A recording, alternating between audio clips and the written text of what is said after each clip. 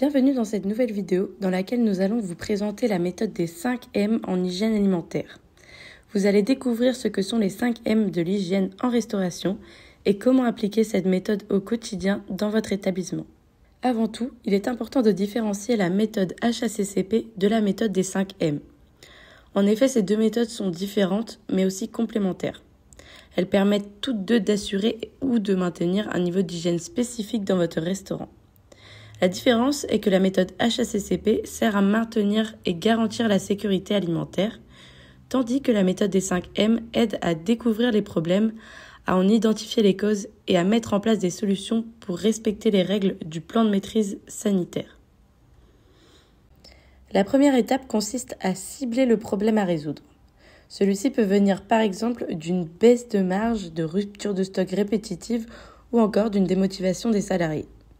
Une fois que le problème a été identifié, il est maintenant temps de définir les objectifs à atteindre et d'instaurer les leviers nécessaires pour y parvenir. Enfin, il faut définir ce même problème par une phrase simple. La deuxième étape est fondée sur l'identification de la source du problème. En effet, identifier la cause du problème va permettre de le résoudre plus facilement. La troisième et ultime étape consiste à classer ces causes par type de famille. Le premier M de cette méthode consiste au milieu. Cette première famille comprend l'ensemble de l'établissement, c'est-à-dire du lieu de stockage à la cuisine en passant par la plonge.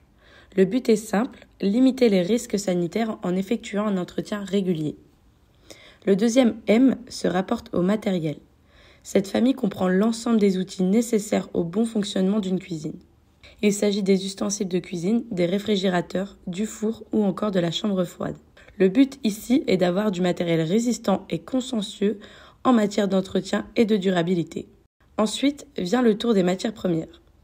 Ces denrées alimentaires doivent être correctement stockées et respecter la chaîne du froid. Après cela, c'est la main-d'œuvre qui doit être formée aux réglementations d'hygiène. Le personnel de l'établissement doit suivre une formation sur ces bonnes pratiques afin de les appliquer pendant le service, mais aussi dans toutes les tâches effectuées. Enfin, le cinquième et dernier M correspond à la méthode. Cette étape correspond au fonctionnement et à l'organisation du restaurant. Il est important de prendre en compte les étapes de production et la réglementation hygiénique. Ce classement par famille est établi grâce au diagramme d'Ishikawa. Il est nécessaire d'évaluer l'impact de la cause dans chaque domaine spécifique. Cette démarche permet de concentrer l'attention là où c'est nécessaire, facilitant ainsi une résolution plus efficace et rapide du problème. Penchons-nous maintenant sur les avantages d'utiliser le logiciel Coost pour appliquer la méthode des 5 M.